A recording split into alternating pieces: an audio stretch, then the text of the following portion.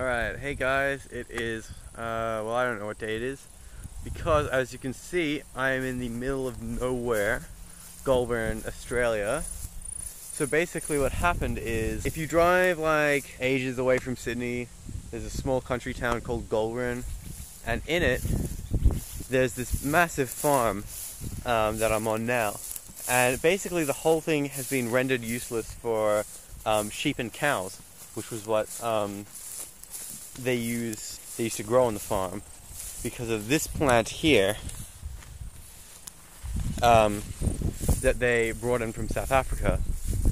And what's happened is this guy called Mike has um, taken over the whole farm and run it kind of like um, a tourist base. And so you kind of come here for a few days and you you sleep in these little things called yurts. Hold on. That's a yurt. And so you're kind of sleep in, these little hut things for what is a few days without um, electricity or light or hot water.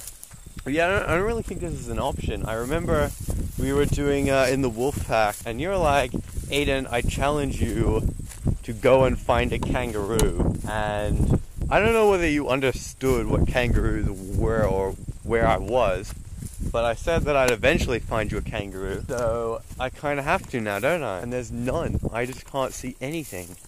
Look, I love this. Okay, we're just on a road now. It's a road leading up to a gate. But of course, there isn't any gate here, so drive around as you do. You mad, gate bro? Alright.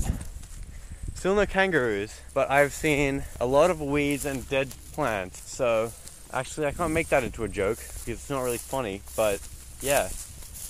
Heartbreaking drought. Haha. So yeah, Hunter, I didn't actually uh, find you a kangaroo. Um, there was kangaroos everywhere, except for just not when I was filming. So I'll find you another one. But what I did find was an insane amount of good advice just scattered around. Uh, some of it's just good advice. Others was uh, not in English. Some was just funny. And this is just really weird. I have no idea what it's talking about. I, I think it's just some kind of divine reference or like Compassionate power. I have no idea. Anyway, cue the Brian Eno music.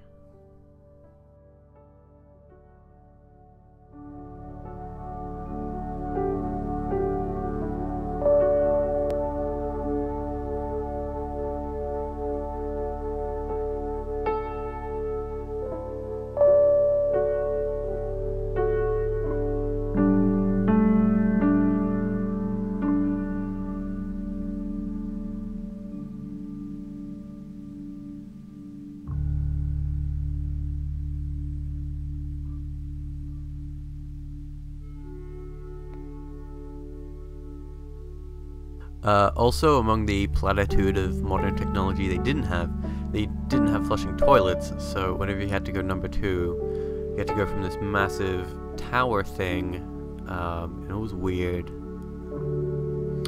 Anyway, I think um, the, the weirdest part about the whole experience is, in my mind, I'm thinking, like, you'd think when I was coming back that I would think, oh, now I'm I'm back to reality, like I'm I'm back to the real world. But it's really quite the opposite, where, you know, I'm just, oh, my water comes magically through these tubes, and I don't make my own food.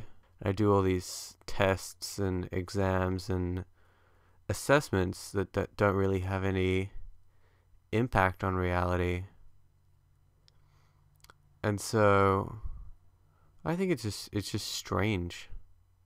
Anyway, guys, that was my thoughts from places video. You guys should do some of those, and hopefully I will see you guys sometime in the next few days. And uh, until then, be alert.